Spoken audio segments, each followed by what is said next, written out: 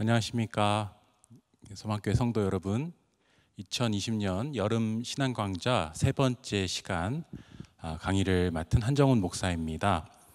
오늘은 어, 지난 시간에 이어서 2단을 마지막으로 살펴보려고 하는데 아, 특별히 교회 역사 속에서 2단이 어떤 특징들을 지니고 어떤 주요한 논쟁점들을 형성해 왔었는지에 대해서 아, 집중적으로 좀 살펴보려고 합니다. 그리고 그 이후에 아, 이단들이 현재 아, 활동하는 이단들이 어떤 그런 이단적인 사상과 토대 위에 서 있는지를 밝힘으로써 현재 신천지를 비롯한 한국의 신흥 이단들이 결코 새로운 것이 아니라 교회 역사 속에서 반복적으로 등장해 왔던 이단의 새로운 형태 아니 변형된 응용된 형태라는 것을 조금 더 어, 드러내 보여주고자 합니다. 아, 그리고 신천지나 한국의 이단들이 얼마나 허무맹랑한 토대 위에 서 있는지를 밝힘으로써 아, 그곳에 빠져서 헤매이는 많은 성도들 그리고 선량한 아, 피해자들을 조금이나마 구제하고 바른 길로 돌아오게 하는데 아, 저의 그 강의의 역량을 지금 모아 보려고 합니다. 특별히 어, 온라인 강의를 저도 지금 처음 해보는데 이 온라인 강의의 약점이라고 생각되는 게 있어요. 그거는 어, 여기 본당에 지금 청중이 들어와 있는 게 아니기 때문에 어, 좀 이렇게 허전한 텅 빈 공간 속에서 하는 것도 있겠지만 그거보다 더 중요한 거는 이 청중의 반응을 그 알 수가 없다라는 것입니다. 실시간으로 예를 들어 표정이나 어떤 반응들을 볼 때 이 강의가 어떻게 소화되고 있고 어, 혹은 어려운지 쉬운지 재밌는지 이런 반응들이 현장에서 이렇게 피드백이 돼야 강의를 하는 저로서는 그 완급이나 속도나 깊이를 조절할 수가 있는데 그게 불가능하다라는 것이 제가 봤을 때는 온라인 강의의 최고의 약점이 아닌가 생각을 합니다. 그래서 저는 가상의 아, 청중들을 향해서 아마 가상의 청중들이 이러한 의문과 생각과 아, 과정 속에서 지금 이 강의를 듣고 있을 것이라는 전제하에 아, 최대한 어, 쉽게 최대한 요점 중심으로 강의를 하려고 하니까 여러분들이 어, 집중해서 들어주시고 혹시 나중에 기회가 있을 때 저에게 피드백을 해주시면 저에게 큰 도움이 되겠습니다. 왜냐하면 앞으로 온라인 강의를 할때 어, 이런 피드백들이 모아지면 그걸 반영해서 다시 좀 더 발전적인 방향으로 할 수 있지 않을까 생각하기 때문에 제가 부탁드리는 것은 어, 꼭 나중에 어떤 기회로든 이 온라인 강의의 뭐 내용이나 전달 방법이나 뭐 이제 화면에 PPT가 계속 나올 텐데 글자 크기나 뭐 이런 것들이 잘 보인다 안 보인다 이런 것들까지 피드백을 나중에 해주시면 큰 도움이 되겠습니다. 아, 그러면 강의를 시작하도록 하겠습니다. 아, 먼저 이단이란 무엇인가에 대해서 우리가 먼저 살펴보려고 하는데 이단은 여기 달을 이자 한자에 보면은 달을 이자에 끝 단자가 쓰여져 있죠. 그리고 영어로는 헤레시스라는 영어로 표현이 되고 있습니다. 근데 이 이단이라는 단어를 어, 우리가 좀 생소한 단어일 수도 있는 게 특별히 한국 사회에서 이단이라는 단어가 잘 사용된 단어가 아니기 때문입니다. 일반 사회 영역에서 이단이라는 단어를 잘 쓰지 않죠. 어, 이단이라는 이 용어는 아주 국한돼서 사용되는데 특별히 이제 종교적인 영역에 국한돼서 쓰이고 있고 종교적인 영역에서도 굉장히 부정적이고 어, 아주 안 좋은 이미지의 어떤 정죄, 어떤 가치 판단을 갖고 있는 용어죠. 이 정죄하고 약한 세력으로 규정할 때 쓰는 단어가 이단이라는 용어라는 것을 우리가 아, 아시면 좋겠습니다. 그래서 굉장히 어, 큰 가치 판단이 들어가 있는 용어다 이렇게 이해하시면 되겠고 어, 극명한 예로 다른 예로 영어 단어의 heresies 말고 cult란 단어가 있어요. 컬트. 근데 이제 미국이나 영미권에서 우리가 흔히 생각하는 그 다른 이단을 가리키는데 이 heresies라는 단어보다는 cult란 용어를 많이 쓴다라는 것을 우리가 이해할 필요가 있습니다. 이 cult란 단어는 조금 더 같이 중립적인 개념이라고 할 수 있어요. 뭔가 정죄하고 비난하는 어, 개념이 아니라 다른 종파, 뭐 어떤 특별한 종교적인 어떤 다른 목적을 추구하는 집단. 아, 그래서 하나의 아, 컬트 문화 아, 그리고 컬트 어떤 그 그룹 이런 식으로 해서 어, 나와 다른 생각을 갖고 다른 취향을 가진 집단으로 동등하게 존중하는 상대적인 의미로 인정하는 개념의 컬트란 용어를 더 많이 쓰고 있다라는 것입니다. 그래서 어, 지금 먼저 시작하기 전에 이, 이단이란 단어가 훨씬 더 고어적인 표현이고 약간 그 전근대적인 표현이고 어, 교회 역사 속에서 어, 고대부터 어, 이루어진 수많은 논쟁 속에서 형성된 아주 형성적인 단어고 지금 현재적인 단어 어, 의미로 볼 때 굉장히 그 해석하기가 아주 그 쉽지 않은 단어라는 것을 우리가 먼저 알았으면 좋겠습니다. 조금 있다가 성경 단어들을 볼 텐데 이 성경 단어들도 이런 전제하에서 봐야만 이해가 될 수 있을 것입니다. 어, 그래서 일단 그 회색 사각형을 보시면 전체적으로 거의 같지만 끝부분이 조금 다르다. 이게 이단의 포인트입니다. 그러니까 이단은 어, 타종교랑 달라요. 불교를 이단이라고 하지 않습니다. 아, 그리고 이단은 기독교 이단을 말하는 것입니다. 그러니까 어, 기독교가 불교를 가리켜서 타종교라고 하지 이단이라고 하지 않아요. 왜냐하면 아예 뿌리가 다르잖아요. 기독교와 불교는 뿌리가 다릅니다. 그러니까 어, 신천지를 가리켜서 이단이라고 할 때는 그건 기독교에서 파생된 이단이다라는 뜻입니다. 그런데 그 말은 무엇을 말합니까? 여기 끝만 조금 다르고 아주 몸통부터 해서 목까지 굉장히 많은 부분이 기독교 교리와 기독교 가르침 모든 전통을 공유하고 있다라는 뜻으로 받아들이시면 되겠습니다. 그러니까 아, 이단을 분별하기가 쉽지가 않은 것입니다. 거의 비슷하고 너무 많은 부분이 유사하기 때문에 이 끝이 조금 다른데 이게 결정적으로 다른 것을 분별할 신학적인 지식, 판단력이 없는 사람들은 이게 같은 것이라고 생각하고 넘어가기 쉽다라는 것입니다. 그래서 외부의 적이 아닌 내부의 적이라는 개념으로서 이단 어, 더 위험하고 더 경계해야 할 대상이다 이렇게 볼 수 있겠습니다. 그다음에 이제 세 번째 노란색 그 박스를 보시면 헬라어 hairesis에서 파생됐다라고 어, 말하고 있죠. 그러니까 이 hairesis라는 그리스어 단어를 번역한 게 이단이라는 겁니다.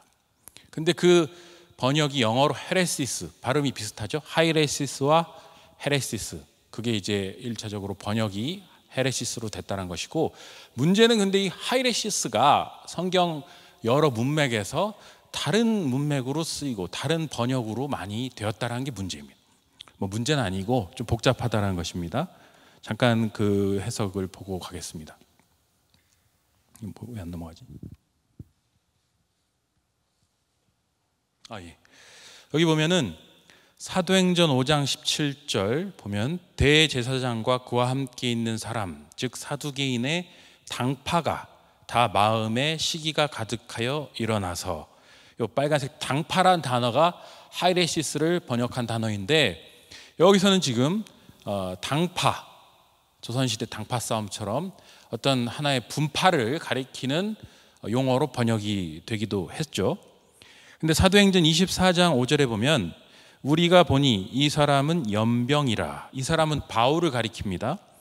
어, 천하에 퍼진 유대인을 다 소욕해 하는 자요 나사렛 이단의 괴수다. 여기 나사렛 이단, 이거 지금 기독교를 가리키는 것입니다. 유대교의 입장에서 기독교는 이때 당시에 이단이에요.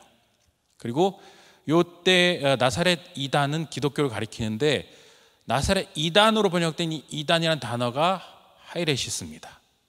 그러니까 어, 위에서는 분파로 번역된 하이레시스가 여기서는 지금 어, 이단으로 번역된 것을 보게 되죠.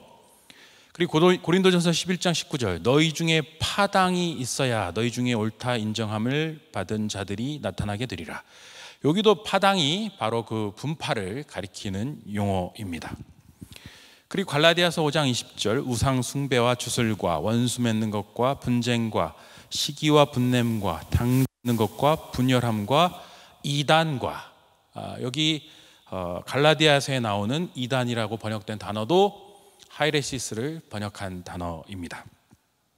그리고 베드로 후서 2장 1절 그러나 백성 가운데 또한 거짓 선지자들이 일어났었으니 이와 같이 너희 중에도 거짓 선생들이 있으리라 그들은 멸망하게 할 이단을 가만히 끌어들여 자기들을 사신 줄을 부인하고 임박한 멸망을 스스로 취하는 자들이다.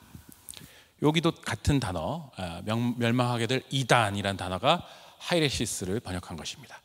이 다섯 개 구절만 봐도 이 하이레시스란 용어가 어떤 맥락에서 번역하느냐에 따라서 분파도 되고 파당도 되고 이단도 된다. 근데 이단으로 번역할 때 특징은 무엇입니까? 지금 현재 우리의 가르침과 뿌리를 같이 하고 공유하지만 결정적인 부분에서 달라서 같은 뿌리를 공유하고 있지만 규정하기를 악으로 적으로 규정할 때 이단으로 번역하고 그런 맥락으로 더 강조점을 형성한다라는 것을 볼 수가 있겠습니다. 그럼 다시 앞으로 돌아가서 요 용어들을 우리가 이제 성경 구절들에서 이단이라고 번역되는 그 뿌리 용어인 하이레시스를 살펴보았고요.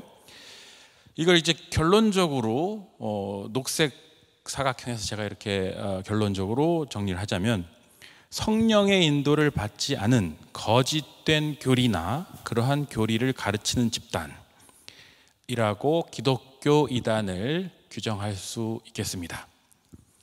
여기서 포인트는 거짓된 교리, 예, 거짓된 교리라는 것이 포인트입니다. 그러면 자 이제 이 핵심이 이단 논쟁의 핵심이 교리라는 것에 우리가 이제 집중을 할 필요가 있습니다. 교리를 어, 도그마라고 하죠. 그리고 학설, 이론, theory. 어, 그래서 이 교리와 학설에 있어서 orthodox, 정통이라는 어, 가르침, 정통 가르침, 정통 교리에 반대되는 가르침을 가리킬 때 이단 학설, 이단 교리라고 말을 합니다. 이단 논쟁의 가장 포인트는 교리다, 도그마다 이것이 이제 우리가 아, 깊이 각인시켜야 될 중요한 포인트라고 할 수 있습니다. 이 올소독스란 단어도 고어예요, 고. 안 씁니다. 아, 요즘 누가 아, 올소독스라는 단어를 쓰지 않는데 이게 왜 중요한 단어냐면 기독교 2000년 역사 속에서 수많은 논쟁 속에서 형성된 핵심 교리, 이것이 제대로 된 진짜 교리다. 이것이 진짜 예수 그리스도와 교회의 가르침이다. 이게 핵심이다라고 할 때 가르쳤던 용어가 올소독스이기 때문에 이게 예, 지금 쓰이지 않는 용어지만 그러나 어, 이것을 우리는 굉장히 소중한 용어로 기억하시고 정통이라는 요 개념어를 꼭 갖고 계셔야 됩니다. 그러니까 이단의 반대에는 정통이 있어요. 정통.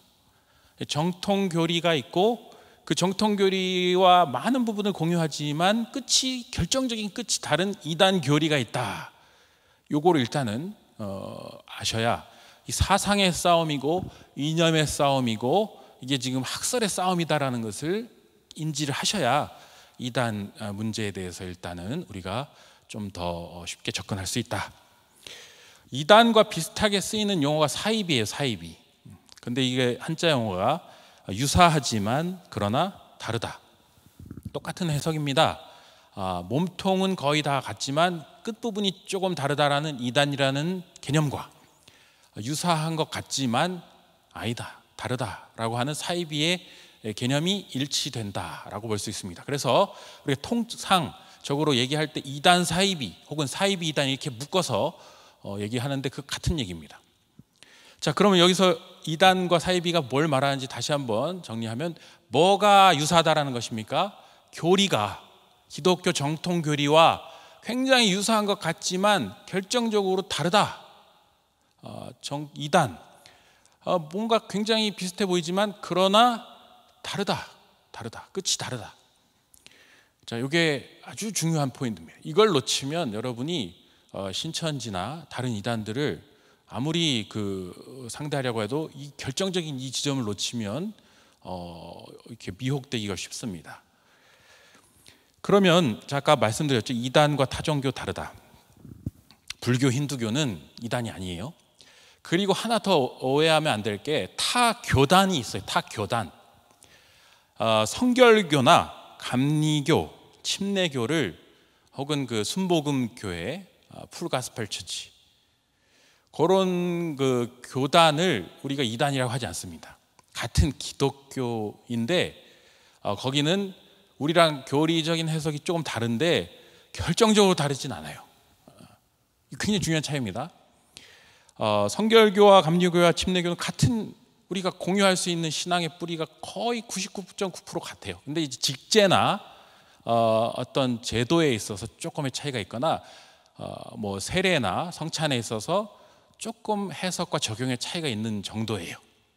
그런 정도의 차이를 우리는 어, 용인하고 수용하고 연대할 수 있어요. 그런 차이를 가진 기독교 집단은 교단이라고 합니다. 다른 교단. 교파.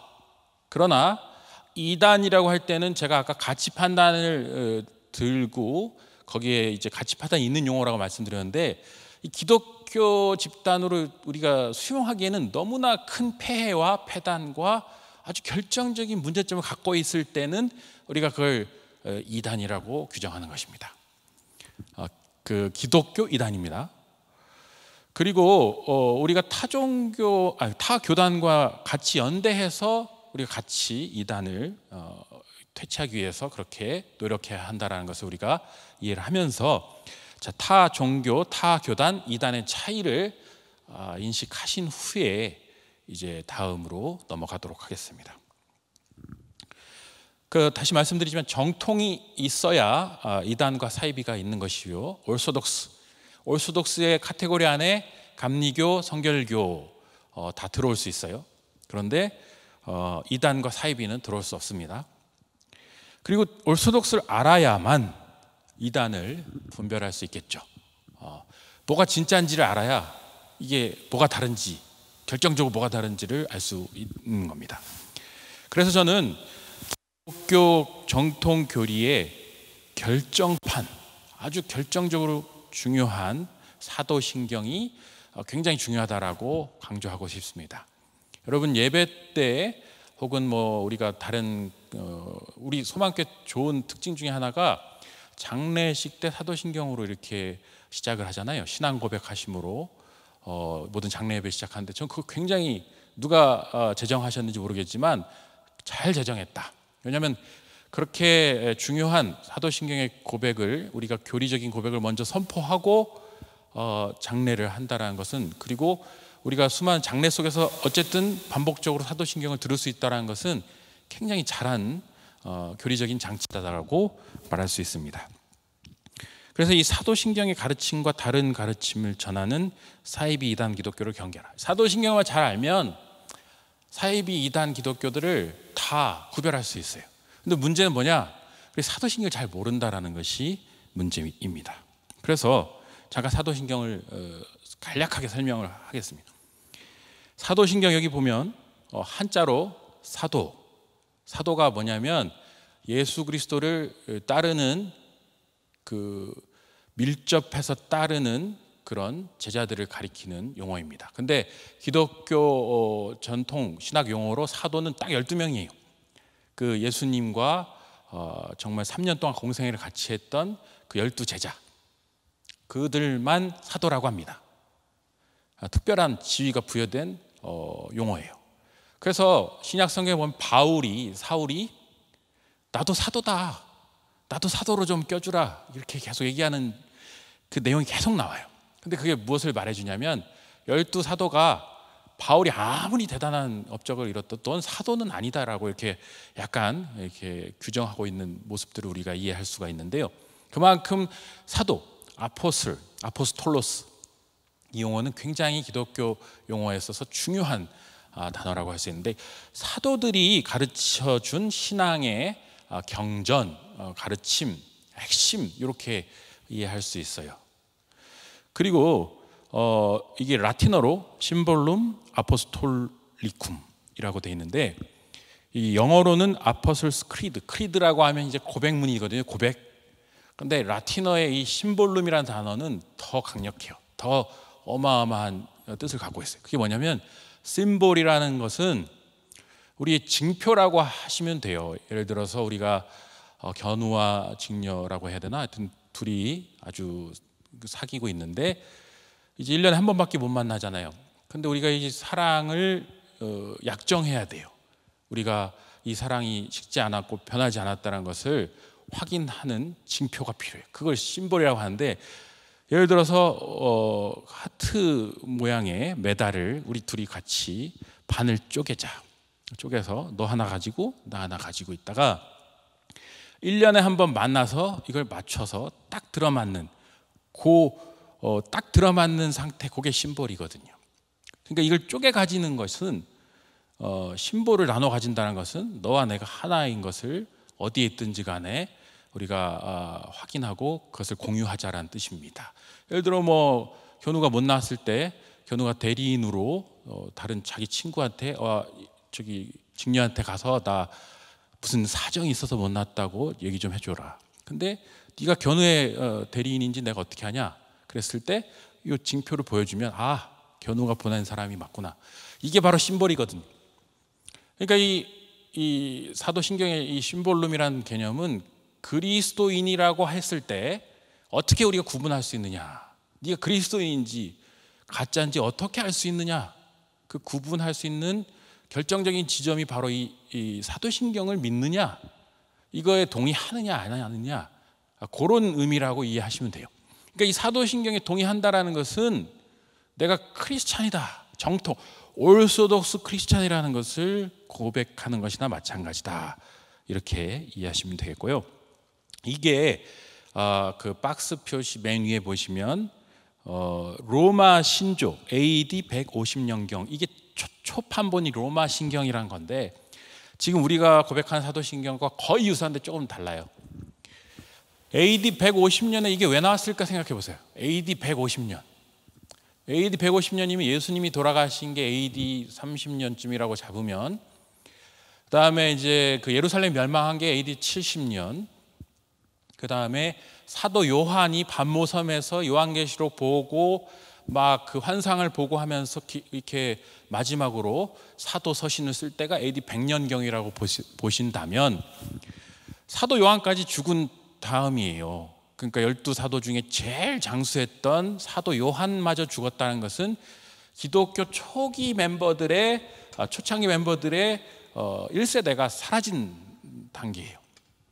자, 그러면 뭐가 문제 되겠습니까? 이 기독교 신앙을 후세대에게 전수해야 되는데 이거를 전수할 산 증인들이 없는 거예요.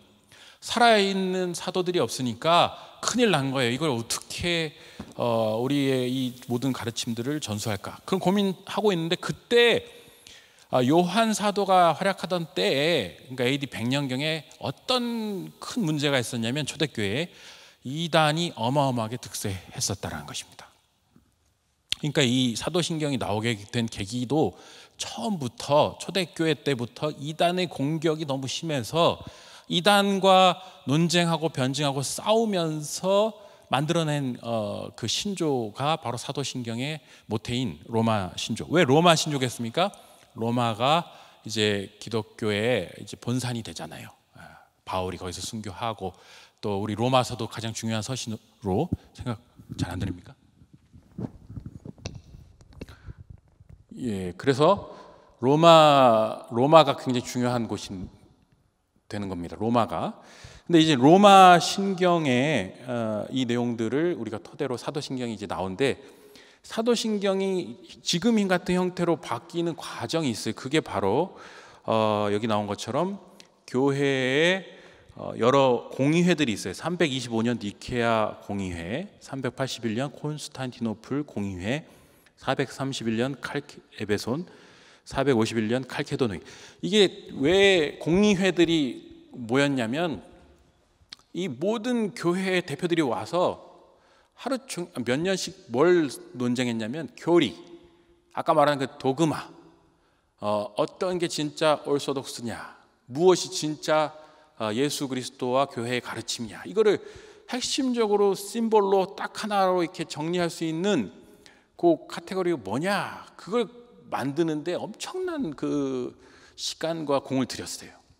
그렇게 해서 최종적으로 이제 451년 칼케돈 회의를 거치면서 이제 이 지금 우리가 고백하는 신앙 고백인 사도신경의 이 최종적인 틀이 완성됐습니다. 그러니까 이게 그냥 한두 명이 영감을 받아서 쓴 게 아니라 400년 동안 논쟁하면서 그때 당시 최고의 지성들과 신앙인들이 모여서 한자 한자 합의하에 낸 그런 어, 결정문이라고 보시면 됩니다. 그래서 이 변증적 차원, 이단적 교리에 대한 변증적 차원, 여기고 아폴로게틱, 아폴로지라는 게 이제 변증학인데요. 아폴로제틱 하면은 변증. 변증이 무슨 뜻이냐면 변호사, 변호사라고 생각하시면 됩니다. 변호사가 검사의 공격에 맞서서 이제 피고의 입장을 계속해서 법률적으로 방어하는 것처럼 이 변증이라는 것은 어, 상대의 공격에 대한 그러니까 상대 공격이 얼마 아프겠어요. 이단은 이때 당시 이단은 기독교 교리의 가장 연약한 부분을 파고들었거든요. 이런 게 말이 안 되지 않냐? 이런 게 허구적이지 않냐? 이런 게 모순적이지 않냐? 이것이 무슨 어, 비합리적이지 않냐? 자, 이런 연약한 틈을 파고드는 공격에 대해서 방어하면서 방어 논리로, 방어 개념으로 계속해서 뭔가를 만들어낸 거예요. 그게 바로 아, 변증학이고 변증적인 방어다 이렇게 이해하시면 그 변증의 결정체가 바로 아, 사도신경이다. 이걸 다시 한번 우리가 아, 마음에 새기면서 또 다음으로 넘어가 보겠습니다. 그래서 이게 어 색깔이 안 보이네요. 여기 그 빨간 글씨는 보이실 거예요. 그 아리우스, 아타나시우스, 영지주의 이세 가지가 굉장히 중요한 포인트인데요. 아리우스라는 사람 예, 기독교 어, 교부 중에 한 명인데 굉장히 유명한 신학자입니다. AD 그러니까 이 AD 400년까지 수많은 논쟁 속에 주역 중에 한 명이에요. 그리고 아타나시우스라는 사람이 아, 그 반대편에 있는 사람이고 영지 주인 이제 좀 이따가 하겠습니다. 그래서 이 아리우스와 아타나시우스의 논쟁에 있어서 가장 결정적인 어, 지점이 뭐냐면 이게 그 이거부터 할게요. 나는 그의 유일하신 아들 우리 주 예수 그리스도를 믿습니다라는 사도신경의 고백문. 이게 보면은 어 굉장히 중요한 이거 한 구절 만들려고 수많은 사람들이 죽고 살고 추방당하고 그랬어요. 이 한 구절. 근데 여기서 포인트는 뭐냐면 예수 그리스도가 누구냐를 규정한 것입니다.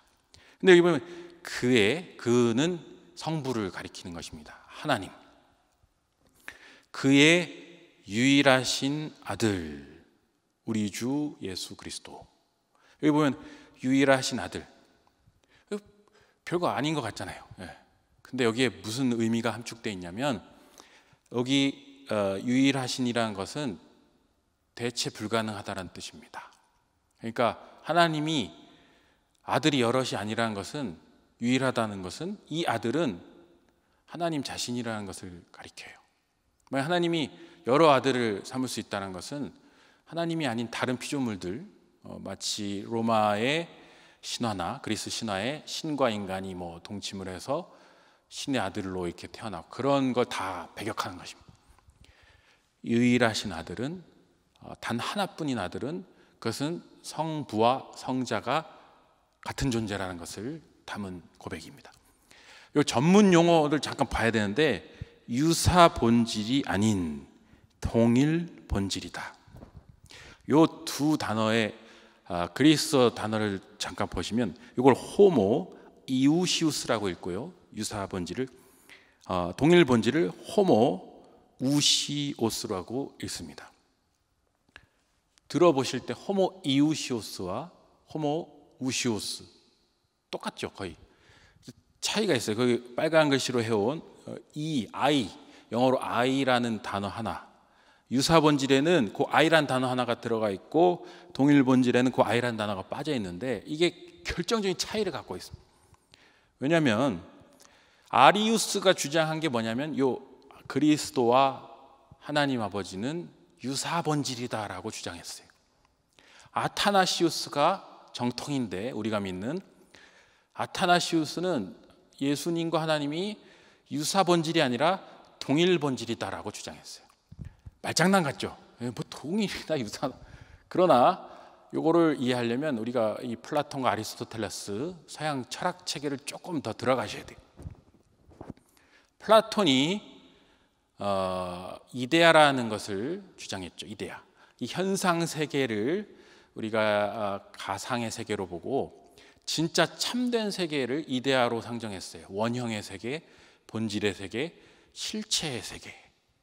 그러면서 이 현상과 어, 실체를 구분해 버렸죠. 그러니까 아리스토텔레스는 이걸 좀 더 나가서 형상, 아, 에이도스라는 것과 아, 질료, 즉 어, matter, 즉 form과 matter를 구분하면서 이거를 똑같은 도식으로 끌고 왔어요. 그러면서 이 물체의 본질을 말할 때 예를 들어 이 스마트폰을 가리킬 때 이거 스마트폰의 껍데기와 이 손에 만져지는 이 물질적인 이 틀을 이제 어, 질료라고 했고 스마트폰이라는 것에 원형이 있다. 이데아, 에이도스가 있다. 그거는 천상 어디엔가에 있다. 그러니까 이거는 모사품이라는 것입니다. 인간도 마찬가지. 인간의 현, 현재 물질적인 모습들은 그건 껍데기고 실제 이 인간을 반영하는 진짜 원형은 원형, 아키타입이 하늘 어딘가에 있다. 영혼의 세계 거기 있다. 이렇게 구분. 이 뒤에 나오겠죠. 이게 이원론이거든요. 이원론. 근데 이 이원론이 굉장히 매력적인 논리입니다. 이 이원론이 굉장히 예, 일반 대중들을 파고드는 힘이 있어요. 그리고 이원론의 또 다른 축이 뭐냐면 이 세상에 악한 일들이 이렇게 많이 일어나는데 선한 하나님이 이걸 왜 그냥 내버려 두는가? 신정론의 문제에서. 근데 이 이원론은 어떻게 해결하냐면 아, 악한 일을 만들어내는 신이 있고 어, 선한 일을 주장하는 신이 있다. 둘이 있어요, 신이. 그래서 이 악신과 선신이 싸웁니다. 이것도 굉장히 그럴듯하잖아요. 근데 이게 다 문제가 됩니다. 어, 기독교 정통 교리의 문제가 돼요. 왜냐하면 하나님이 유일하신 참 하나님이고 모든 신 중에 신이셔야 되는데 악신하고 결투를 벌이면 이 이원론적인 사유 속에 빠져버리면 하나님의 절대적인 지위가 흔들리죠. 그리고 이렇게 이원론의 그 현상과 어, 그 다음에 이데아의 세계를 이렇게 구분해 버리면 이게 굉장히 그럴 듯한데 어, 어쨌든 요 거기에 빠져버리면 물질 세계, 육체의 세계를 굉장히 부정적으로 보고 영적인 세계만 되게 신비주의에 빠져서 거기만 대단한 것으로 보게 되는 그런 유사 신비주의 체계로 빠지기가 쉬워요. 자, 이거 이게 왜 지금 이 설명 왜 하냐면 이게 이따가 신천지랑 다 연결됩니다, 여러분. 예. 그러니까 잘 들으셔야 돼요. 그런데 이 어려워 보여도 이 동일 본질에서 끌고 온 동일 본질의 개념이 바로 그 플라톤과 아리스토텔레스의 원형, 이데아, 에이도스 개념을 끌고 온 것입니다. 아타나시우스. 이때만 해도 AD 400년이면 뭐 그리스 철학, 플라톤 철학 다 신학에 흡수된 상황이거든요. 그 이용을 가져왔어요. 가져와서 하나님과 예수님이 이게 이게 왜 문제가 되냐면 하나님과 예수님이 이 모양이 다르잖아요. 모양이 예수님은 인간의 모양이고 하나님은 어, 안 보이는 모양이 없으시죠. 그이 모양이 다르니까 문제가 생겨요. 예수님과 하나님이 같은 분이라고 할 수가 없어요. 그렇죠? 인간과 하나님이 어떻게 같냐? 다르다. 그러니까 잘 나가봤자 최대한 내가 선심 쓰고 내가 이해할 수 있는 조금만 더 어, 양보해서 그래 예수님을 신인 건 좋다. 그런데 어, 신적 존재 하나님과 굉장히 유사하지만 하나님의 모든 권능을 갖고 있지만 하나님보다는 밑에 있는 존재로 보자. 이러면 이해하기 훨씬 쉬워지죠. 이게 바로 아리우스주의예요. 이게 아리우스주의입니다. 예수님은 인간에 불과하다. 그러나 아, 인간 아니 그래 신적 존재 오케이 천사보다 높아. 그리고 굉장한 능력을 갖고 오케이. 근데 하나님 성부보다는 밑에 있다. 요게 아리우스주의의 포인트입니다. 그때 당시 수많은 사람들이 다 넘어간 거예요. 그럴듯하고 어, 그렇다고 예수님의 신성을 부인한 게 아니잖아요. 신, 신이라고 하는데 근데 여기서 어, 아리우스주의가 이제 공격한 그 모든 내용의 포인트 중에 포인트가 뭐냐면 선제하지 않았다는 것입니다. 선제. 그러니까 태초에 하나님이 천지를 창조할 때 성부만 있었고 빛을 만들고 지구를 만들고 할 때 그때 뭐 0.001초 차든 몇 초 차든 그 하여튼 빛이 있으라 하기 바로 직전에 예수님을 만들었다는 거예요. 그 성부 혼자 온 세상을 피조했다. 요거를 종속론이라고 이따 또 설명하겠지만 자 위계 질서 hierarchy 성부 성자 성령 이렇게 3위가 이렇게 1, 2, 3등으로 수직적으로 배열돼 있다. 요게 종속론인데요. 이게 아리우스파 주장의 핵심입니다. 어, 예수님의 신성 부인하지 않는다. 그러나 어쨌든 성부보다는 아들이 감히 어떻게 아버지랑 맞먹냐 밑으로 들어가야지. 예. 동양에서도 그렇고 여기 중동에서도 그렇고 그게 훨씬 더 일반 대중에게는 와닿는 교리거든요.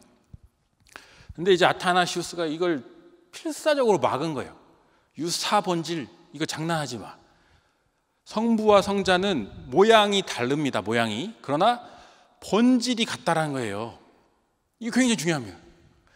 휴대폰과 저는 다릅니다. matter 질료로는 달라요. 그러나 만약에 누군가 이 휴대폰의 에이도스 이데아와 한정운의 이데아를 같은 걸로 시작해서 모양을 다르게 만들었다면 그러면 모양은 다르지만 실체, 본질은 똑같다 이렇게 주장할 수 있어요. 이게 잘 이해가 안 될 수도 있는데 굉장히 그때 당시에 이단 논쟁에 있어서 굉장히 중요한 이, 이 혁파 지점을 플라톤 철학에서 끌고 왔어요. 아타나시우스 어쩔 수 없이 끌고 왔어요. 그래서 이걸 주장했고 이게 먹혀서 지금 중세를 비롯해 모든 스콜라 철학, 카톨릭 철학, 그 다음에 모든 어, 개신교 철학의 뿌리에 이 토대가 있습니다. 성찬론에도 있고요. 다 있어요. 다. 그건 나중에 언젠가 다루게 되겠죠. 그래서 우리가 기억해야 될 것은 무엇이냐? 아버지와 아들은 유사 본질이 아닙니다. 동일 본질. 모양은 달라요. 이해가 안 됩니다. 예수님과 하나님이 같다라는 게 이해가 안 돼. 그러나 모양은 분명히 다른데 본질이 똑같다. 이데아가 똑같다. 그렇기 때문에 일체다. 삼위일체다. 이걸 이해하셔야 삼위일체를 이해할 수 있어요. 이걸 이해해요. 네. 그러니까 이게 예수 그리스도는 하나님이시고 피조물이 아니고 성부에게 종속되지 않은 하나님 자체. 그러면서 이제 다시 아까 도표로 보시면 삼위일체 1 substance, one substance, three persons. 요거를 평생 기억하셔야 돼요. 이거 하나만 기억하시면 이단의 어, 모든 공격에서 대처할 수가 있습니다. 대처하기 쉽습니다. 왜냐하면 substance가 뭡니까? substance 본체 맨날 얘기하잖아요. 삼위일체, 삼위일체 그런데 일체 도대체 이게 뭔가? 어, 이이 두 개가 합체했다라는 건가? 그게 아니고요. 이 일체는 합체란 뜻이 아니고 하나의 substance, 하나의 본체라는 것입니다. 이게 동일 본체 이렇게 이해하시면 돼요. homoousios를 공유한다. 새 성령 성부 성자 성령의 substance homoousios 본질은 같다. 이해가 되시죠? 본질은 다 같. 그러니까 제가 이때 이걸 확인해야 되거든요. 이 표정을 봐야 되는데 여러분의 표정을 볼 수가 없습니다. 어쨌든 그래서 반복적으로 다시 한번 말씀드리면 성부 성자 성령의 substance가 같다. 어, 호모 우시우스를 다 같이 갖고 있다. 그러면 이렇게 그러니까 저 성부 성자 성령의 서브스탠스와 인간 한정원의 서브스탠스는 같을 수가 없어요. 그 누구도 같을 수가 없습니다. 오직 저 세 분만 서브스탠스가 같아요. 동일 본질로. 그러니까 그 어떤 인간도 내가 감히 보혜사라고 말할 수가 없는 거예요. 어떤 놈이 어떤 인간이 지가 뭔데 성령 그러니까 성부 성자 성령 삼위일체 삼격인 보혜사 성령이 자기라고 말을 어떻게 하냐 이거예요. 이 기본적인 기독교 교리에 대해서 아무것도 모르는 인간이나 저런 얘기를 할 수 있는 것입니다. 지가 뭔데 자기의 어, 서브스텐스가 성령 하나님과 같다라고 말할 수 있냐 말이에요. 어?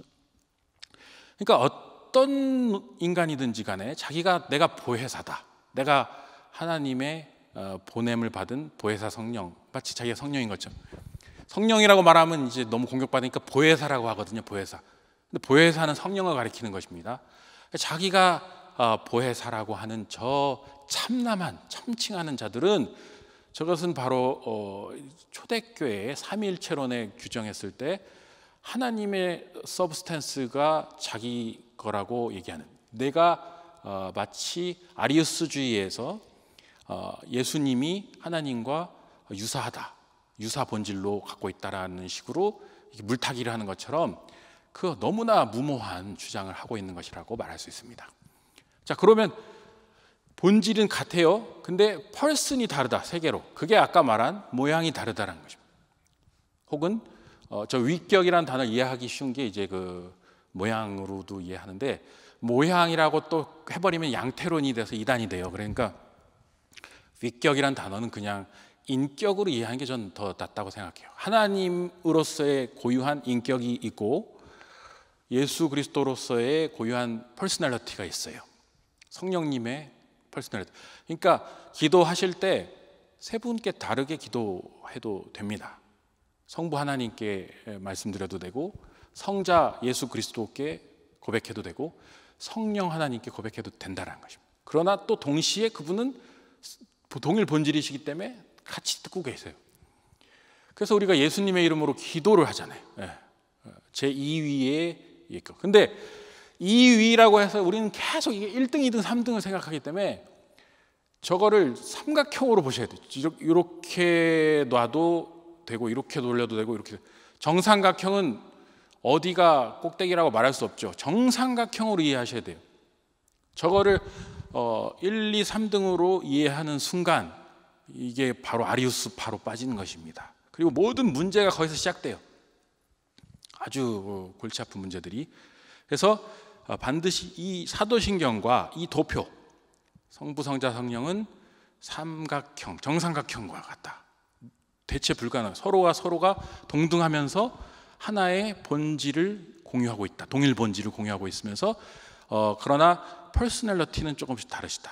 아, 그 다름은 그 같음을 어, 파기할 수 없는 다름이라고 이해하시면 돼요. 자 그러면 요게 이제 그 아리우스주의를 정지하기 위해서 이 구절을 넣었는데 지금도 똑같이 어, 내가 예수다라고 하는 사람들 있죠. 적그리스도들 그리고 이단의 괴수들 내가 예수다 이거 말할 수 없어요. 유일하신 아들 자, 내가 예수다, 내가 보혜사다고 하는 자에게 가서 여기 사도신경에 동의하냐? 예. 여기 유일하신이라고 돼 있지 않냐? 할 말 없죠. 그리고 그는 성령으로 잉태되어 동정녀 마리아에게서 나시고 여기 보면 그는 예수님이에요. 근데 예수님이 이 성령으로 잉태됐다. 이것도 삼위일체론을 지금 규정하는 것입니다. 이 잉태라는 단어가 비같으니 비같은 요 잉태를 어떻게 번역하냐 이 용어를 뭘로 하냐를 갖고도 수도 없이 싸웠는데 요 비같은이란 단어는 예수 그리스도의 잉태에만 쓰여요. 우리 인간의 잉태나 출산을 가리킬 때는 이 단어를 쓰지 않습니다. 비 같은. 근데 성령으로 잉태됐다고 할 때 이것은 뭐냐면 이게 삼위일체 제3격인 성령과 예수 그리스도의 탄생이 연결돼서 성부, 성자, 성령의 합작품으로 성육신이 이루어졌다. 그 얘기를 하는 것입니다. 여기 성령은 매개체가 아니라 제3위로서의 Holy Spirit 그, 그 동일 본질 세 번째 personality를 갖고 있는 그 성령이 예수 그리스도의 성육신에 개입하셨다라는 것을 어, 말하고 있습니다. 그리고 몸의 부활 끝으로 가면 사도신경 끝에 가면은 마지막에 우리 고백할 때 나는 몸의 부활과 영생을 믿는다고 하잖아요. 이게 중요한 포인트. 몸의 부활. 이 제목에 보면 영지주의에 대한 거부라고 돼 있잖아요. 영지주의. 그 영지주의가 뭐길래 어, 이것을 몸의 부활을 강조하고 있는가 이걸 이제 이해할 필요가 있는데 영지주의는 아까 말한 그 이원론 네, 좀 이따가 하겠습니다. 예수님은 인간의 몸을 입고 이 땅에 오셨다는 거. 성육신. 그러니까 성육신이 굉장히 중요해요, 여러분. 이 예수 하나님이 그 동일 본질로서의 신성을 가지고 인간의 몸을 입었다라는 것이 얼마나 어마어마한 기적이고 어마어마한 사건인지를 우리가 인지해야 됩니다. 그러니까 예수 그리스도가 누구신가, 기독론 이 모든 문제는 예수님이 누구인가에 달려 있는데 이 예수님은 신이시여 신. 네, 넘어가겠습니다. 그래서 이 기독론, 기독론, 크리스톨로지. 자, 크리스톨로지의 핵심은 그거예요. 이건 무조건 기억하셔야 돼요. 이거 외우셔야 돼요. 예수는 누구인가? 참 하나님 and 참 인간. 이게 지금 이 꼴이 될 수 없어요. 어떻게 하나님이면서 인간이냐? 이거는 생각하지 마시고 무조건 대답할 때 예수님은 누구인가 물어봤을 때 예수님은 참 하나님이고 참 인간이시다. 둘 다 동시에 동시에 이거를 라틴어로 베레 데우스 베레 호모 true God and true man. 이 true God or 아니죠. and. 동시, 동시. 삼위일체도 셋이면서 하나 하나면서 셋이 동시에. 어, 기독론도 인간이면서 하나님, 하나님이면서 인간 동시에. 근데 앞에 참이에요, 참. 단 1%도 하나님이 아닌 점이 없고 단 1%도 인간이 아닌 점이 없어야 돼요. 그게 예수님이에요. 이게 어려운 거예요, 이게. 그런데 이 기독론 이단이 그러니까 이 틈을 치고 들어오는 것입니다. 이 인간 예수가 어떻게 하나님이냐. 자, 여기 보면은 가현설이라고 되어 있죠. 이 가현이 오늘날로 말하면 virtual이에요. virtual. Virtual reality 할 때 가상현실. 가상현실이라고 됩니다. 예수님이 어, 모든 사람들이 볼 때 육체를 입은 것 같았는데 그게 가상현실이었다는 거예요. 굉장히 첨단을 어, 이때 이 사람들이 의도한 건 아니었겠지만 아주 첨단. 그러니까 홀로그래피라고 하나 그 3D 입체 그 홀로그래피라는 거예요. 홀로그래피. 아무도 어, 그 사실을 눈치는 못했지만 그 홀로그래피였다는 거예요. 2000년 전 사람들이 이런 주장을 했어요. 왜 이 주장을 하겠습니까? 왜? 아까 어, 이원론 영지주의자들은 육신은 더러운 것이고 물질은 더러운 것이고 영적인 세계가 어, 참된 것이고 하나님의 세계라고 했기 때문에 하나님이 물질 세계로 들어오면 오염된다고 봤어요. 오염. 그러니까 예수님이 하나님인 건 오케이. 근데 예수님이 물질 세계로 오면 하나님이 아닌 게 돼요. 그러니까 타협책이 뭡니까? 가상으로 왔다. 아, 그러니까 아까 말한 아, 우시우스, 즉 본질은 하늘에 두고 어, 껍데기만 왔다 갔다. 이렇게 되면 타협이 되죠. 이 영지주의자들에겐 타협이 돼요. 근데 이러면 뭐가 문제가 생기냐면 가짜로 죽은 거예요. 가짜로 십자가에서 피 흘리고 가짜로 우리의 대속 제물이 된 겁니다. 그러면 우리의 모든 죄를 대신 지고 십자가에 달려서 하나님의 어린 양이 되어 온 인류의 죄를 지고 가짜로 죽었다는 것인데 그게 참된 하나님이 할 일이 아니잖아요. 말이 안 돼요. 그래서 이 가연설은 어, 말이 안 된다. 양자론, 요거는 어덥션, 입양. 이게 바로 그 아리우스주의의 포인트인데 하나님이 어, 성부 오케이 아주 최고. 그 다음에 예수 그리스도도 좋아요, 아주 훌륭한 분인데 이 예수 그리스도를 어, 피조했고 혹은 어, 인간 중에 굉장히 영적으로 뛰어난 존재인 인간인 예수를 이렇게 입양해서 시적 주의로 끌어올렸다. 아, 그런 주장입니다. 자, 이거의 포인트는 어쨌든 이 예수님의 신성을 아예 부인하는 것은 아니지만 어, 하나님보다는 밑에 두려고 하는 거기서 양자론이 나온 겁니다. 근데 이렇게 되면 어, 그리스도의 이제 그 신성도 부인되고 그 인격도 부인되고 그 다음에 그 지위가 존재가 부인되고 마찬가지로 저 양자론을 하게 되면 이 온 인류의 죄를 사할 수 있는 유일한 존재는 하나님밖에 없는데 하나님이 아닌 존재, 하나님보다 좀 모자란 존재가 대속을 하게 되는 거기 때문에 대속이 안 돼요. 그러니까 구속론의 문제가 생깁니다. 그래서 저 양자론도 어, 그럴 듯하지만 어, 우리가 수용할 수 없고 무조건 동일 본질, 하나님과 같은 본질이다 이렇게 나가야 하는 것입니다. 세 번째 종속론이 이제 그 아까 말한 그 위계 위계 질서 속에 있는 이위라는 그런 어, 주장입니다. 그 다음에 이제 영지주의 좀 더 살펴볼 텐데요.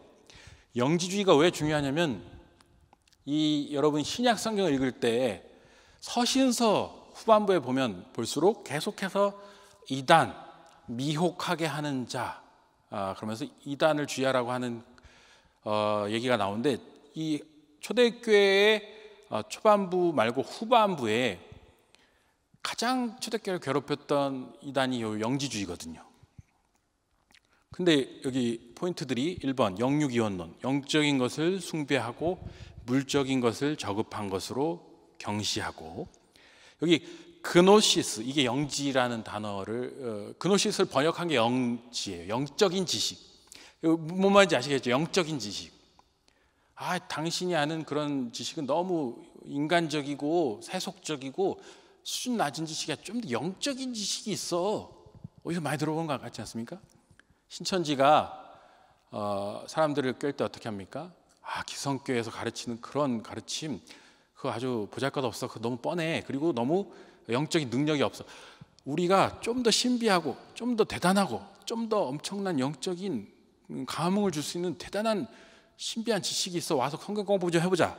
이게 그노시스를 어, 그노시즘하고 이게 맥락을 같이 한다고 저는 봅니다.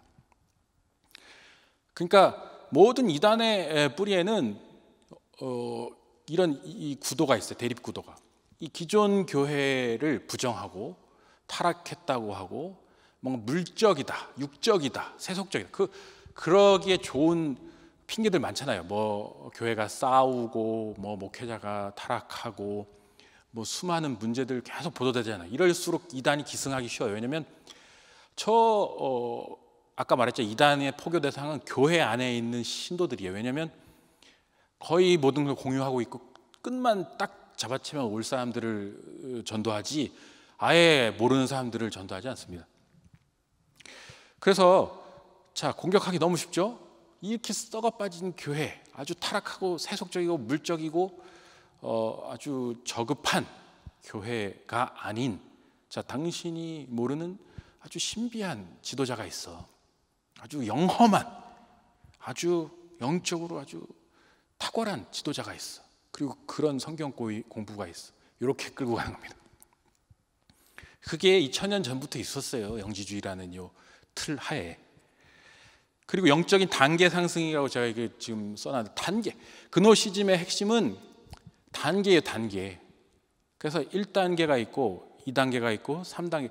이 단계별로 이렇게 높아지게 돼 있어요. 그래서 어, 가장 최고의 단계는 육을 완전히 이제 벗어버리는 거예요. 완전히 영으로 이렇게 하나가 되는 건데 이 단계론이 또 우리한테 엄청 설득력이 있어요. 너는 지금 보니까 딱 어, 2단계 정도인데 저 우리의 목자는 12단계 혹은 저기 100단계의 분이 계셔.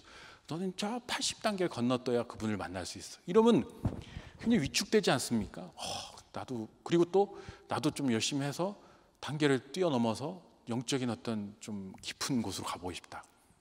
이 구도가 바로 이 영지주의 구도가 신천지의 그런 어, 단계적인 예를 들어 신천지도 초급 단계 성경 공부가 있고 그다음 중급 상급이 있고 그다음 그걸 통과해야 그 다음 단계 리더십들이 또 받는 그게 있고 그렇게 해서 또 이, 이 직급도 단계가 있잖아요. 이 굉장히 이 영지주의의 틀을 갖고 와서 자기 마음대로 이렇게 응용했다. 그리고 극단적 금욕주의, 물질계로부터 초월하여 영적 신비에 도달하기 위해 영적인 신비를 위해서 신천지가 뭘 합니까? 세속적인 거 끊으라고 하죠. TV 보지 마, 어, 인터넷 접속하지 마. 그리고 와서 교회 와서 기도만 하고 우리랑 성경 공부만 해. 굉장히 신령해 보이죠. 굉장히 영적인 것 같죠. 그러나 왜 그들이 세속적인 데이터들을 미디어를 끊으라고 하겠습니까? 어, 자기들을 공격하는 것도 못 보게 하려고 그런 거 아니에요. 네, 그런 것들을 우리가 이해하셔야 돼요. 물질계로부터 초월하 영적 신비에 도달하기 위해서 물질 세계를 차단시키는 것이 어떤 면에서 그럴듯해 보이지만 그게 어, 일시적인 게 아니라 지속적으로 그렇게 한다면 그건 영적으로 감금하는 거죠. 감금. 우리가 예를 들어 뭐 수련회를 한다든지 영적 집회를 한다든지 부흥회를 간다고 뭐 길어야 3박 4일 일주일 기도하고 금식하고 내려오지 거기서 살진 않지 않습니까? 어, 변화산에 예수님도 영적 체험을 크게 했던 제자들에게 어, 내려가라고 했잖아요. 다시 산으로 가고 아, 도시로 가라고 했잖아요. 그러니까 여러분이 이 영적 신비주의 좋습니다. 그러나 이거 너무 이것을 악용하고 이거를 하나의 잘 모르는 성도들을 자기의 어떤 그 체계에 포섭하려는 그런 도구로도 쓸 수 있다는 것을 우리가 알아야 되고 그 모든 어, 방법론이 다 2000년 전 영지주의에 있다 이렇게 보시면 돼요. 그리고 요건 제가 이제 그 후스토 곤잘레스라는 사상가가 있는데 여기 이건 제가 읽어볼게요. 영지주의에 의하면 영이 물질적인 것들과 연합되어서 물질의 노예가 되어 있기 때문에 구원의 목표는 영의 영을 이 상태에서 해방시키는 것이다. 사람의 몸과 동물적 혼은 물질적 세계에 속하며 영만 오로지 몸에게 생명과 욕망과 열정을 부여해 준다. 영은 진정한 의미에서 이 세상에 속하지 않으며 신적 본질의 한 부분이다. 약간 신비스러운 설명이지만 영은 이 세상에 떨어져서 물질의 포로가 되었다. 그러므로 영을 감옥으로부터 해방시켜야 되는데 지식 혹은 그노시스를 통해서 가능하며 여기에서 영지주의라는 이름이 비록되었다. 이 지식은 단순한 알을 뜻하지 않고 영원자의 계시로 말미암아 얻어지는 신비적인 조명을 뜻한. 이거 들어 이거 읽으면서 오 그럴 듯한데 그러면 위험한 겁니다. 여러분 여기에 여기에 제가 중요한 포인트가 여기 지금 어, 영원자의 계시로 말미암아 얻어지는 신비적 조명 요 단어를 잘 기억하시면 좋겠어요. 이거가 어, 뭘 의미하는지를 아셔야 돼요. 이게 뭘 의미하는지. 이거는 교회가 가르치는 정통 설교나 성경 공부가 아닌 다른 가르침을 말하는 것입니다. 근데 왜 다르냐면 여기 보면 단순한 알, 교회에서 가르치는 건 단순한 알미고 여기는 영원자의 계시로 말미암아 얻어지는 신비한 조명의 지식. 이게 영지거든요. 영험한 지식. 여기서 중요한 포인트가 있습니다. 이 영원자의 계시를 누가 받겠어요? 누가? 영원자의 계시. 그러니까 교회가 가르치는 거 말고 교회의 가르침은 단순하고 아주 뻔한 가르침이에요. 자, 그러면 영원자의 놀라운 계시로 말미암아 영험한 그 그노시스를 누가 받아? 그 누군가 받았다고 할 거 아니에요. 그게 교주예요. 그게 그게 교주입니다. 모든 이단 사이비의 정점에는 교주가 있습니다. 교주가 그 창시자가 있어요. 그래서 한국의 이단의 특징으로 넘어가면 될 것 같아요. 자, 이제 한국의 이단의 특징을 보시면 이단의 코어 핵심은 교주예요, 교주. 왜냐하면 그 교주가 영험한 지식을 받아서 영험한 계시를 받아서 시작하거든요. 그 다음에 2번 신비로운 영적 현상과 능력을 잘못된 방법으로 사용한다. 미혹하는 영. 근데 여기서 제가 여기 2번이 굉장히 중요합니다. 2번을 모르면 여러분이 안 돼요. 신비로운 영적 현상과 능력을 갖고 있다는 것입니다. 제 판단으로. 여러분 궁금했죠? 왜 그 멀쩡한 사람들이 그 엘리트들이 그 아쉬울 거 없는 사람들이 왜 이단에 빠지는가 이해가 안 되셨죠? 이해가 안 될 수밖에 없는 게 그 이단들은 영적인 어마어마한 파워를 갖고 있기 때문입니다. 그걸 아셔야 돼요. 이단이 그냥 어, 초등학생들 데리고 이 말장난으로 그들을 깨어낼 수 있는 그런 허술한 집단이 아니고 이단의 영적 어떤 현상들은 어마어마합니다. 그걸 아셔야 돼요. 왜 사람들이 이단에 빠지는가? 교리에 빠지는 것도 있지만 교리는 빠져든 사람들을 공고하고 완전히 어, 체계화시켜서 완전히 사상적으로 얽어매는 거고 1차적으로 빠지는 건 영적인 능력이 있어서 빠지는 거예요. 제가 이단을 옹호하는 게 아니라 저도 이단의 어, 그 지도자들과 이단에 빠진 사람들을 어, 꽤 많이 겪어봤는데 그 사람들이 어떤 영적 현상들을 경험하고 어떤 영적인 그런 노력들을 기울이는지를 어, 봤어요. 가까이서 봤는데 어마어마하게 합니다. 어마어마하게. 그리고 이만희 씨의 동영상 그다음에 설교들을 제가 꽤나 들어봤는데 그 사람이 얘기하는 게 있어요. 내가 이 계시를 받았을 때 체험을 계속 얘기하는데 그 체험이 진짜든 가짜든 그게 사람들을 혹하게 하는 어마어마한 체험들을 얘기해요. 제가 볼 땐 굉장히 문제가 많은 얘기들인데 그 사람들이 그 체험 얘기에 넘어갑니다. 그리고 여기 미혹하는 영이라는 거 있죠. 어, 미혹 이게 길을 잘못 들게 이렇게 어, 이 미혹하는 영이 사탄의 영인데요. 여러분 그거 아셔야 돼요. 사탄의 영이 작동하고 있습니다. 영적인 어떤 강력한 이블 스피릿이 그 사람들에게 작동해서 그 교주를 통해서 작동해서 어, 그러니까 이단 집회에서 치유도 일어나고요. 방언도 하고요. 이단 집회에서 뭐 예언도 하고 막 계시도 보고 어마어마한 일 들이 귀신이 뭐 나왔다 들어갔다 하고 그러니까 이런 것에 완전히 무지한 채로 살던 사람들이 공허하고 힘들고 뭔가 뭐 어려운 계기가 있는데 누가 끌려가서 간데 어마어마한 영적 현상을 보면 오 진짠가 보다라고 넘어가게 돼 있는 거예요. 그게 바로 미혹하는 영의 역사입니다. 근데 이단이 미혹하는 영이 어마어마하게 강하게 역사하는 곳이라고 우리가 이해를 하셔야 돼요. 그러니까 이거는 영적 싸움이 될 수밖에 없고 영적 전쟁이 되는 거죠. 그러니까 영적으로 깨어 있고 영적으로 굉장히 우리가 아, 기도와 말씀으로 단단히 무장하지 않은 채 이단을 뭐 만만하게 보고 갔다. 일단 교리적인 지식도 없이 부서지고 영적 현상에 있어서 영적인 어떤 세력에 의해서 이제 잠식당하게 되는 거죠. 요거를 저는 굉장히 중요하게 봅니다. 아, 이단 상담을 하고 이단 빠진 사람들을 이렇게 빼오고 하는 그 과정에서 수많은 그 싸움을 겪으면서 이게 굉장히 중요한 포인트다. 음. 왜 아이들이 자기 부모를 버리고 그렇게 떠나서 부모를 막 이렇게 하는가? 그 굉장히 강력한 어떤 영적 현상에 이렇게 휩싸여서 가는 거예요. 그 무시할 수 없습니다. 그리고 3번 초보적인 성서 해석학. 성서 해석학. 해석학이라는 게 굉장히 중요합니다. 우리 성경이 처음에 만들어지고 그 다음에 필사되고 그게 원전이 이제 형성돼서 그걸 해석한 거를 몇 년을 해 왔을 것 같습니까? 우리 기독교 역사만큼 오랫동안 해석이 돼 있어요. 그러니까 예를 들어서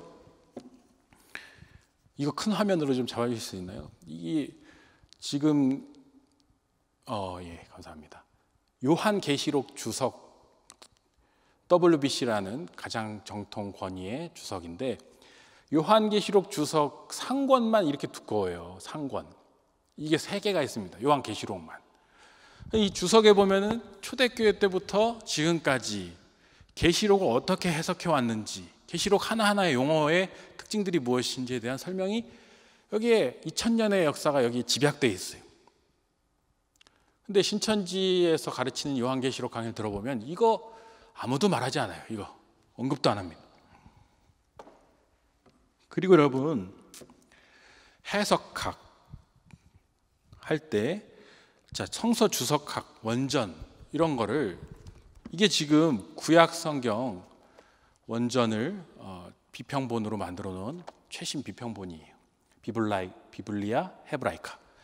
자, 독일 성서공회에서 만들어 놓은 건데 이 히브리어 원전 수많은 비평 작업을 통해서 어, 수많은 사람, 세계 최고의 학자들이 모여서 성경의 원전이 이렇게 가장 여기에 가까울 것이다라고 해서 그 히브리어를 최종적으로 교정해서 집대성해 놓은 이 히브리어 원전, 오 죄송합니다. 이거를 번역한 게 이거 한국어로 번역한 게 있고 뭐 저기 독일어, 영어 이걸 번역하는 거예요. 근데 한글 번역판 중에도 이거를 번역해서 새 번역도 있고 개혁 개정도 있고 개혁 한글도 있는 겁니다. 근데 신천지 사람들은 개혁 한글판만 봐요. 다른 번역은 다 못 보게 합니다. 왜 그런지 아십니까? 그 이만희가 득도할 때 개혁 한글판으로 득도했고 자기 교리를 만들 때 그 개혁 한글판의 번역을 가지고 짝교리를 비롯한 모든 교리책을 만들었어요. 그 번역본이 없으면 그 교리가 무너져요. 만약 하나 그러니까 신천지 그 가르친 사람들에게 당신 그 개혁 개혁 한글판 번역에 원래 히브리어 원전의 어떤 원전이 무슨 내용인지 알기는 아냐. 이거 해석해 볼래? 라고 들이대는 순간 그 사람들은 할 말이 없어요. 왜냐하면 그 그들은 개혁 한글판밖에 없거든. 이거는 이제 그리스어, 헬라어, 신약 성경의 원전이란 말이에요. 네스날라는 판. 이런 거 보지 않습니다. 신천지 사람들이 이걸 할 이유가 없어요. 왜냐하면 이거 하면 자기들이 무너지기 때문에 이걸 보지도 않 이런 게 있다라고 가르치지도 않을 거예요. 저는 신천지 신도들에게 묻고 싶어요. 어, 당신들은 성경의 원전을 본 적이 있냐? 원전이 어떻게 해석돼 왔는지 해석의 역사에 대해서 들어본 적이 있냐? 지금 어, 말한 그런 교회 역사 속에서 어떤 논쟁 속에 이런 교리들이 만들어졌는지 들어본 적이 있냐? 영지주의에 대해서 들어본 적이 있냐? 몬타누스주의에 대해서 들어본 적이 있냐? 지금 당신이 최고의 계시라고 믿고 있는 그 신천지 가르침이라는 게 얼마나 조악한 체계 위에 어, 동떨어져 있는 것인지 혹시 누군가에게 들어본 적이 있냐? 전 그걸 묻고 싶어요. 그, 그 교주에게 자신의 인생을 그렇게 걸 그런 어리석은 어, 판단을 하고 그렇게 어, 양떼를 물어뜯고 그들의 모든 살을 취하는 그런 이리 같은 자들에게 어, 얽매여 있으면 안 된다. 진짜 참된 가르침으로 나와야 한다라고 말해주고 싶다는 것이에요. 그래서 여기 4번에 교리 역사에 대한 이해 부족, 그다음 기성교회와 목회자 비판. 아까 말씀드렸죠. 너무 쉬워요. 기성교회를 비판하는 것은 누구나 할 수 있어요. 자 그리고 신천지 이단성 쭉 얘기하는데 아까 말씀드렸죠. 다른 보혜사라고 하잖아요. 다른 보혜사는 없습니다. 음, 삼일체 성령님은 한 분. 잘못된 종말론. 이게 시한부 종말론인데 신천지의 시한부 종말론의 차별성 뭐냐면 다른 다미 선교회 같은 시한부 종말론은 음, 날짜를 이렇게 찍어버렸어요. 이렇게 그 몇 월 며칠 몇 시. 그 가장 어, 옛날 시한부 종말론이에요. 근데 저는 이 신천지도 시한부 종말론으로 봅니다. 변형된 좀 더 발전한. 왜냐하면 얘네는 14만 4천 명이 채워지면 종말이 온다고 하잖아요. 그거가 언제가 될지는 모르잖아요. 근데 그게 채워지면 온다. 근데 아시다시피 이게 넘었었거든요. 14만 4천이. 그 각 지파마다. 넘었었는데 이거 안 왔어요, 종말이. 그러니까 어떻게 합니까? 아, 사실 여기에 가라지가 있었던 것 같다. 그래서 다시 어, 인침을 받은 자들을 어, 선별하는 시험을 치겠다. 그래서 천국인 맞은 자들을 가려내는 시험을 다시 쳤어요. 그래서 숫자를 계속 이제 유지하고 있는 거죠. 말도 안 되는 시한부 종말론을 갖고 있고 이 이단들의 종말론의 특징은 세상을 이 부정합니다.